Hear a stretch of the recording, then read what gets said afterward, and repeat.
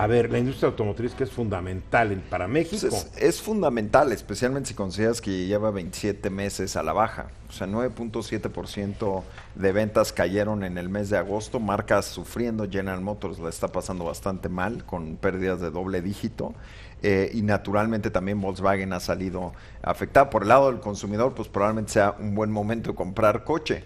Pero lo que sí vemos. a ver, tú es llegas que- a una agencia, a ver, estamos en crisis, deme un descuento. Pues no se puede, joder. No, no, ay, no te, crea- no te creas. Yo, yo veo a las marcas bastante Pero desesperadas. sugieren un buen descuento. Te sugiero un buen descuento. Bueno, pues nos echamos un clavado y le buscamos.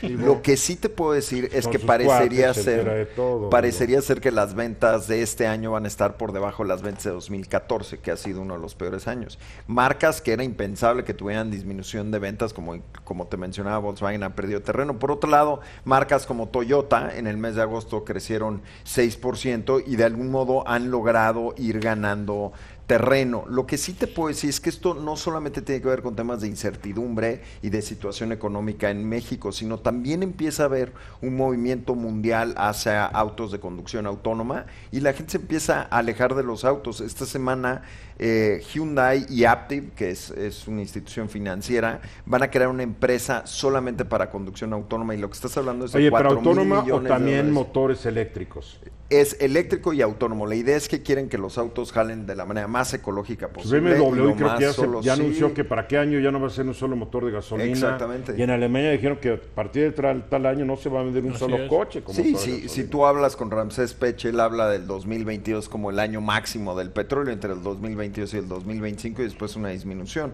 Lo que sí ves es que Hyundai está acompañado por Waymo de Alphabet, que es la empresa de Google. General Motors también va a mover su dinero hacia allá. Tesla, Toyota hizo una, una inversión con SoftBank. Ford es interesante porque le hizo con China, con Baidu.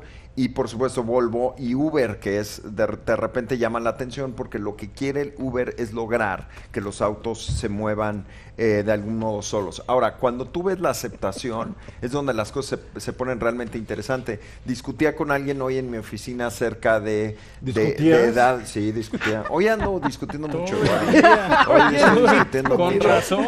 Hoy discutía Sí, en la vimos. Es que oficina. es un virus de la discusión que Sí, se da en esta creo. cabina. Eh, No sé por en qué. esta cabina, sí.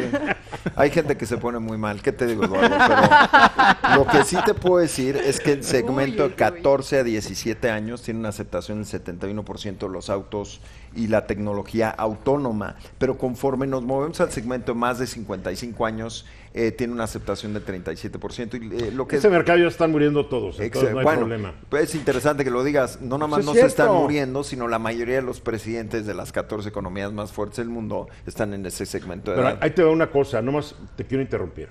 Hace unas horas se dice que la Fiscalía Alemana ahora levantó cargos contra ejecutivos de Volkswagen por haber mentido en lo que son las emisiones de sus vehículos diésel. Sí. Y les echa una multita de 870 millones de euros. Sí, como si las cosas no estuvieran mal en venta de autos a nivel mundial. Y ahora este, salen las estos. cosas se van a poner Y después difíciles. hoy me platicaban cómo en Alemania Porsche está construyendo una instalación para hacer coches eléctricos donde la fábrica no emite una sola emisión de carbono. Sí. O sea, viene un cambio radical en la industria automotriz. Pero esto- lo, lo que me preocupa un, un poco que en México tal vez sigamos con el esquema del siglo XIX o XX. ¿no? Bueno, nos gusta. Aquí somos de legislación lenta, me gustaría llamarlo así. Nos tomamos las cosas con Vamos y calma. despacio. estamos Y apostando a hacer más gasolina y exportar menos petróleo, porque lo que hoy se dijo en la mañana es que vamos a, a producir tanta gasolina que se van a caer las exportaciones de petróleo, entonces no vamos a ingresar La divisas. petroquímica, que es. Porque están apostando de que van a llegar más remesas. Ojalá no falle ninguno de estos cálculos. Pero- Síguele, pero- Ábrelo, síguele, Álvaro. Esto que Ah, estabas diciendo preguntar. nada más, Álvaro, este, na- para, para ubicarnos, esta caída en, en el consumo de automóviles Suerte. eh, a nivel mundial, eh, ¿es, es en México más, más, más pronunciada o es igual porque la gente está... ca- Porque esto es importante. Eh, Mira, la- lo que nosotros Ah, vemos, sí. lo que hemos analizado en la revista es que claro que es un fenómeno en México. En México pega muchísimo la incertidumbre. Hay una incertidumbre ahorita. También hay que recordar que las tasas están altas. Si tú pides un crédito automotriz, el CAT anual está entre el 20 y el 24%. No es poco dinero. Lo que sí te puedo decir es que a nivel mundial se iba a pegar Tan solo Ford va a eliminar 12 mil empleos con seis plantas en Europa. Jaguar va a recortar 4.500 empleos. Honda va a cerrar la planta del Reino Unido, que eso tiene un poquito más que ver con el Brexit.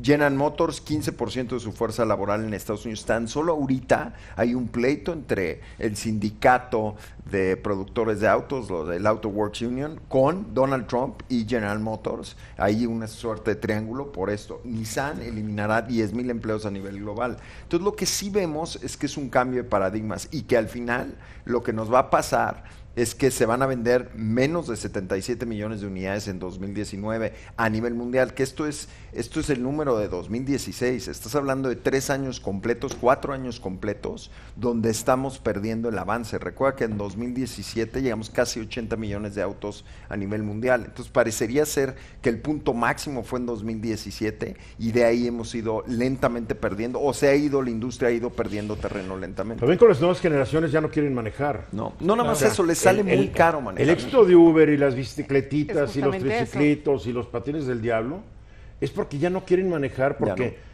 manejar, eh, la verdad. No, hombre, es terrible. en ciudades como México. Es muy cansado. Bueno, pues todos aquí este, nos decía nuestra productora que de Mítica para acá, que estamos hablando de kilómetro y medio, cuando una hora.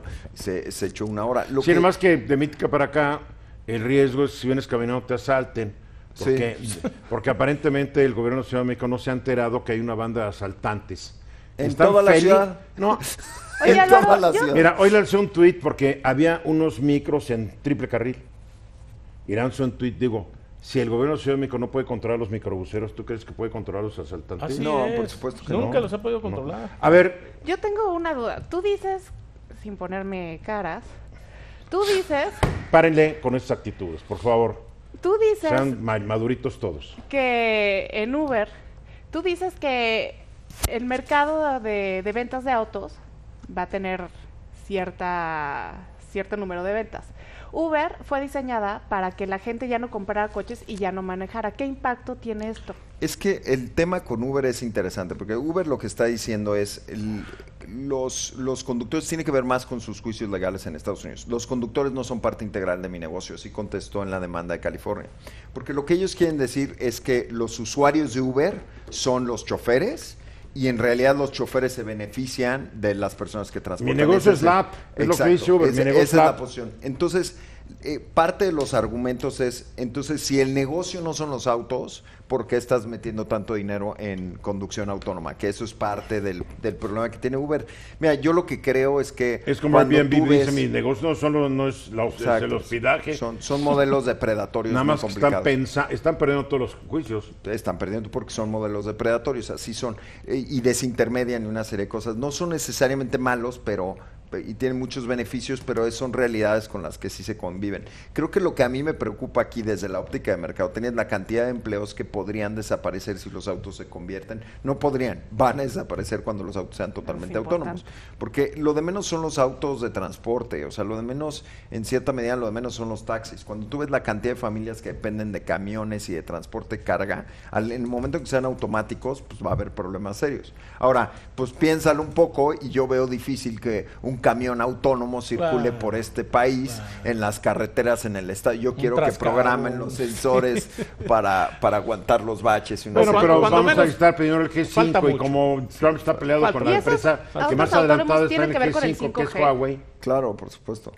Sí, parte, parte de esta tecnología no es tanto que el auto autónomo depende del 5G, pero el concepto de que los autos se comuniquen entre sí sí depende del 5G. Ya hay autos autónomos, Tesla lo tiene, Volvo tiene iteraciones y a cada rato se estrellan los de Y a cada rato se, digo, no sé si alguna vez les ha tocado ver a un chofer de Tesla. El, otro día, este, pues, en, Bosques de las Lomas, eh, este, iba yo camino a Toluca una cita, iba pues evitando el tráfico en Waze como le hacemos todos y me, pasó un señor que iba leyendo un libro pues mientras su auto Tesla pues manejaba. ese señor es un irresponsable. pues claro que es Porque el mismo manual de instrucciones de Tesla dice, Te dice que no lo viendo por si necesita regresar.